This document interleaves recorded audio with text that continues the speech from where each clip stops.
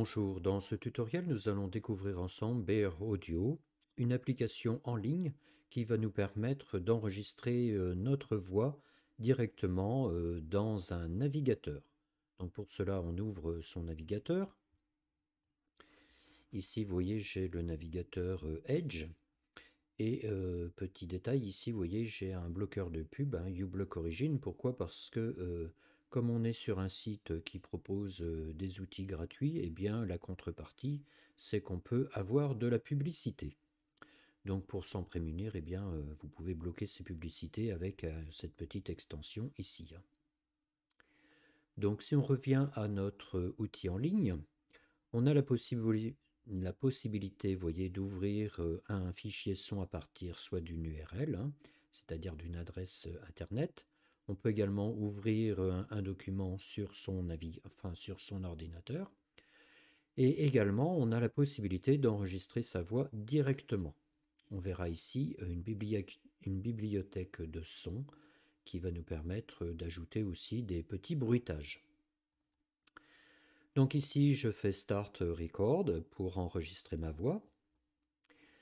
Ceci est un enregistrement afin de faire une petite démonstration de beeraudiotool.com.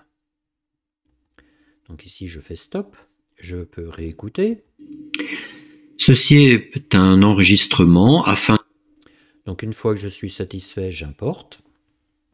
Vous voyez, on a la possibilité ensuite eh bien d'éditer. Par exemple ici, je vais éditer euh, ce petit morceau, je le réécoute. Ceci est voilà. Un enregistrement. Voilà. Ceci est un enregistrement afin de faire une... Alors ici, vous voyez, on a une petite hésitation, donc on va la supprimer, ce silence. Et maintenant, vous voyez, si je recommence... Petite démonstration de beeraudiotool.com voyez, donc je me mets ici, je peux réécouter. Ceci est un enregistrement afin de faire une petite démonstration de beeraudiotool.com. Donc, vous voyez, je peux augmenter les hautes fréquences. Hein. J'ai aussi la possibilité de faire un fondu en entrée ou en sortie. Donc, vous voyez, si je veux faire un fondu en entrée, je sélectionne. Je fais, voilà, un petit fondu. Donc, le fichier va démarrer tout doucement et je peux faire la même chose en sortie. Euh, si je ne suis pas content de ce que je viens de faire, je, peux toujours revenir en arrière en cliquant sur Undo, hein, qui va me permettre de retrouver euh, ce que j'ai fait euh, auparavant. Donc ensuite, vous voyez, je vais me mettre ici et je vais ajouter un petit fichier son. Donc ici, je cherche quelque chose d'assez, par exemple, relax. Alors la contrepartie de ce site, c'est que les termes doivent être cherchés uniquement en anglais. Donc ici, je vais aller chercher euh, des criquets. Donc je vais importer euh, mes petits criquets. Hein. Voilà. Donc si j'écoute euh, mon fichier son, alors je n'ai pas besoin de, tout ça. Hein. Vous voyez, je vais supprimer ici cette partie. Et je ne vais garder, vous voyez, que Là aussi, je vais supprimer ce temps de silence. Et cette fois-ci, bien vous voyez, j'aurai la fin de mon enregistrement vocal et ensuite les petits criquets. audiotool.com Donc une fois que je suis satisfait de mon enregistrement, eh bien il suffit de sauvegarder son travail. Donc ici vous avez plusieurs formats. Hein. Moi je vais prendre le format MP3 avec euh, double canot. Hein. Euh, mais sans ça, vous pouvez rester en mono hein, si vous n'avez pas un, micro euh, qui enregistre en stéréo. Vous faites sauvegarder. En fonction de la euh, qualité de votre connexion, ce travail peut prendre plus ou moins de temps.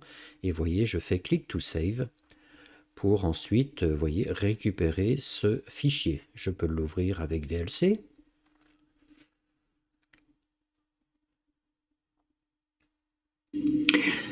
Ceci est un enregistrement afin de faire une petite démonstration.